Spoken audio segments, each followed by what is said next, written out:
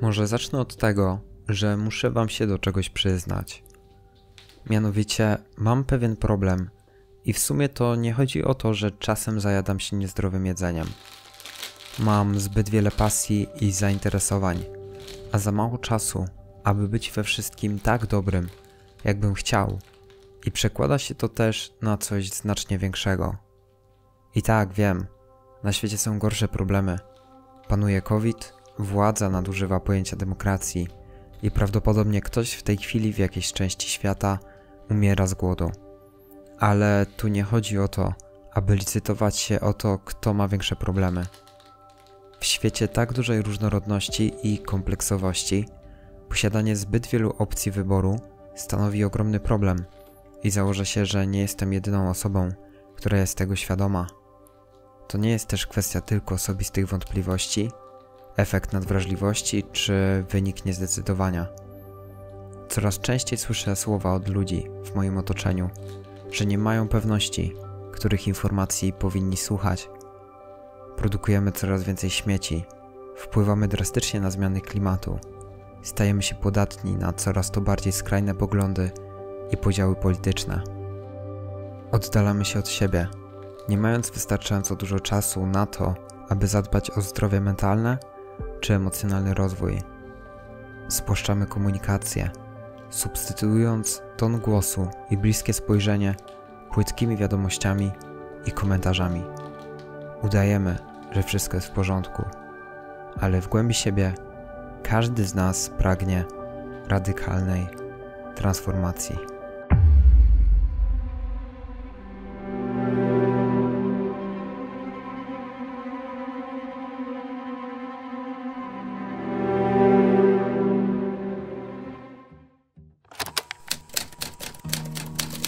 Innowacja to uczucie przełomu, czegoś wielkiego. Coś, czego pożądamy, co zwykle przychodzi w chwili, gdy nad czymś ciężko pracujemy i zrozpaczeni brakiem efektów porzucamy to, by obudzić się któregoś dnia z całą gamą całkowicie nowych i świeżych pomysłów. Lecz wpierw musimy przełamać opór. To uczucie, że nie jesteśmy dość dobrzy, że to jeszcze nie teraz, nie ta chwila. Pytanie, kiedy nastąpi właśnie ta chwila, ten odpowiedni moment? Może właśnie teraz, bardziej niż kiedyś, świat czeka na nasze pomysły i idee, słowa, gesty i czyny, nasze podejście, sposób widzenia i patrzenia. To jest Hyperlapse, specjalnie złożona sekwencja, składająca się z kilkuset zdjęć złączonych razem. Nie byłoby w nim nic zachwycającego, gdyby nie fakt, że każde jedno zdjęcie zostało wykonane pojedynczo, a nad zrobieniem jednego hyperlapsa spędziłem grubo po kilka godzin. Jako ludzie uwielbiamy zachwycać się tym, co dobrze wygląda. Było trudne w wykonaniu, a przy tym jest ciężej dostępne. Z tego też powodu rzeczy, którym poświęcamy więcej wysiłku, sprawiają nam też więcej przyjemności.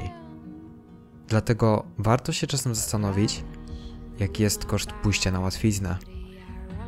To dylemat, który dręczy każdego perfekcjonista. Cisnąć, by czuć dumę z bardziej dopracowanych tematów, czy sobie odpuścić, oddając się kompulsywnie powierzchownym i hedonistycznym przyjemnościom. No może po prostu tylko ja tak mam, ale wątpię. Dlaczego? Dlaczego w ogóle chcemy zmiany, nauki czy rozwoju? Spójrzmy na kilka dostępnych modeli, przedstawiających procesy zmiany i transformacji, które może pomogą nam w znalezieniu odpowiedzi. Piramida Maslowa opisuje każdą z naszych potrzeb. Te związane z samorozwojem i duchowością są na samej górze. Jakby były najmniej dostępne, albo czekały na nasze odkrycie, dopóki wpierw nie zaspokoimy tych bieżących potrzeb. Albo weźmy dla przykładu pewien model uczenia się, zwany cyklem Kolba, który określa proces naszej nauki. Z jego założeń wynika, że wiedzę czerpiemy głównie z doświadczenia i praktyki. Jeśli tak jest, to po co nam wiedza na pierwszym miejscu? Albo spójrzmy na koło życia.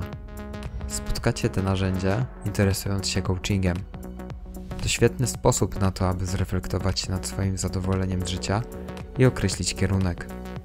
Swoją drogą, odpowiedzcie sobie na te pytania w wolnej chwili, w ramach zadania domowego.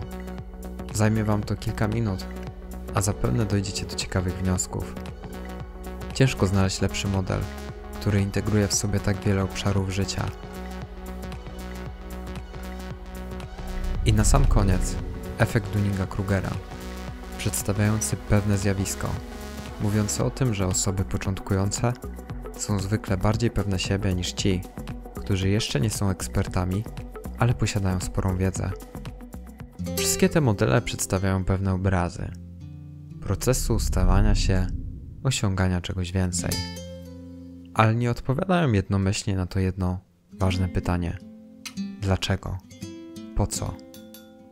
Mogą pobudzić wyobraźnię i ciekawość, ale na ostateczne odpowiedzi jesteśmy skazani na poszukiwanie w samotności. Albo musimy się pogodzić z tym, że nie można ich znaleźć, nie da się ich uczepić czy na stałe przywiązać. Życie jest skomplikowanym procesem. To kreatywny akt całego wszechświata, wydarzającego się wszędzie, naraz. Każdy twórca jest obdarzony pewnym darem kreatywności i neurotyzmu jednocześnie. Jego umysł jest wrażliwym wahadłem, odbijającym się od jednego ekstremum w drugie. Reprezentuje część kompleksowych procesów wrażliwego instrumentu, jakim jest jego mózg. Poprzez wsłuchanie się w melodię wszechświata, może on sięgnąć głębiej i odtworzyć echo pustki, wypełniającej każdy zakamarek, dostrzegając drgnięcie każdej jednej cząsteczki. A im bardziej będzie chciał to opisać i uzewnętrznić, tym bardziej jego twórczość będzie przypominać proces zbliżania się do nieskończoności, jednocześnie jej nie sięgając. Nie ma możliwości zrozumieć takiego twórcy bez jednoczesnego zagłębienia się w sobie. A i jemu samemu trudno jest czasem siebie zrozumieć, czy wytłumaczyć, na czym polega to, co robi. Bo zawsze jest to proces stawania się, zawieszony w przestrzeni ideałów i zatopiony w nicości jednocześnie. Dlatego w nieskończoność możemy wymyślać coraz to nowe koncepcje. Wszystko ma tyle sensu, na ile będziemy w stanie się tym ekscytować. Przestymulowanie to jeden z kilku czynników, który odbiera nam zdolność słuchania i widzenia, doświadczenia zwykłych rzeczy w niezwykły sposób, klarownego dostrzegania ważnego dla nas kierunku. Myślę, że coraz bardziej wszyscy zdajemy sobie sprawę z tego, że działanie skierowane na właściwy cel jest bardzo ważne. Może nawet ważniejsze niż samo działanie, bezmyślnie, w pośpiechu, w stanie konfliktu czy niepewności. Nadanie właściwej formy naszym zachowaniom, myślom czy nawykom wymaga często większego wysiłku. Trudno opisać to w słowach, ale tak samo wiemy, że jakość użytych słów w odpowiedni sposób może wywołać większy efekt niż ich ilość. Inaczej można ulec ich nadużyciu i tak samo oddalić od ich znaczenia, zapominając po co się szło od samego początku, dokąd się podążało, nie wiedząc dlaczego nagle prosta droga, którą mieliśmy przed sobą, zaczyna skręcać. Wszystko zaczyna się w nas samych i tak samo kończy. Dostrzeżenie tego przynosi pewną dozę spokoju. Mógłbym rzec na swój sposób odnalezienia siebie w tym wszystkim. Czegoś, co przypomina pewne uczucie bezpieczeństwa czy powrotu na linię startu jakiegoś takiego miejsca w kosmosie, gdzie nie ma ani czerni, ani bieli, a kolory zdają się wyrażać różne odcienie kontrastów bardziej niż kształtów. Dokładniej będzie, jeśli powiem, że chodzi mi o taki sposób myślenia, w który nie trzeba wkładać wysiłku. Albo wysiłek sam ustaje i wtedy pojawia się ten rodzaj widzenia myślenia. Ciekawe, dokąd nas ono zaprowadzi. A, i miałem zaproponować jakąś puentę. Rozwiązanie dylematu, które przedstawiłem na początku ale muszę Was ostrzec. Generalnie nie miałem zaplanowane, aby to wideo miało być jakąś motywacyjną przemową, ale po tych wszystkich słowach, które napisałem, nasuwa mi się w sumie tylko jedno pytanie. Choć nie mamy wystarczająco dużo czasu, aby być mistrzami we wszystkim, to czy możemy sprawić, by świat był choćby odrobinę lepszym miejscem? Cześć! Jeżeli podobało Ci się to nagranie, zostaw proszę dla mnie łapkę w górę, udostępnij je dalej oraz subskrybuj kanał, żeby być ze wszystkimi materiałami na bieżąco. Jeżeli chcesz wspierać projekt Find Yourself i dodatkowo uzyskać dostęp do zamkniętej grupy na Facebooku, gdzie dzielę się materiałami, które nie są nigdzie indziej dostępne, wspieraj projekt Find Yourself poprzez Patronite'a.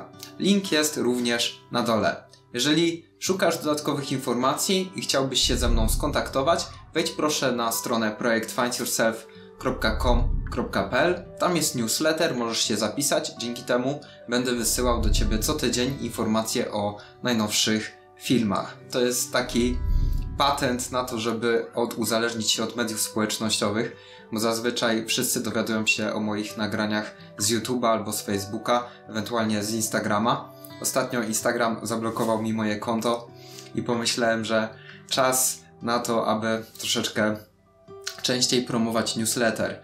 Po prostu to jest taka forma zaangażowania, tak żebyś ty mógł otrzymywać bezpośrednio na pocztę filmiki bez dodatkowych powiadomień, bez rozproszeń. Ja nie spamuję, wysyłam maile maksymalnie raz w tygodniu. Przy okazji też przypominam o podcaście po całości, który prowadzimy razem z Aleksandrem. Ja przez ostatni czas troszeczkę oduzależniam się od mediów społecznościowych, stąd troszeczkę mniejsza moja aktywność, natomiast stawiam na jakość materiałów, starając się dostarczyć Wam jak najlepsze treści, tak żeby to po prostu fajnie wyglądało i jednocześnie się nie wypalić, co bywa trudne. Dzięki serdeczne za Waszą uwagę i widzimy się w kolejnym nagraniu. Miłego. Elo, buźka.